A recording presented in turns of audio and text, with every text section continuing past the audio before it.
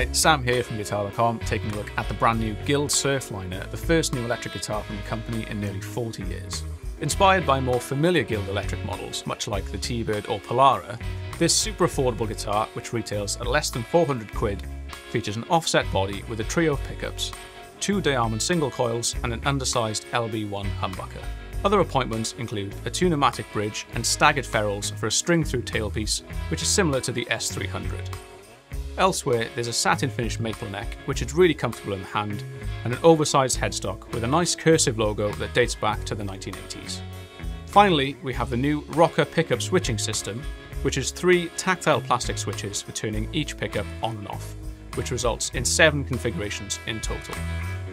First, we'll detail each pickup in isolation before putting the guitar through its paces with some nice clean tones and some overdriven tones as well. To read the in-depth review from yours truly over on guitar.com, click the link in the description below. And if you like this video, give us a thumbs up. Thanks for watching.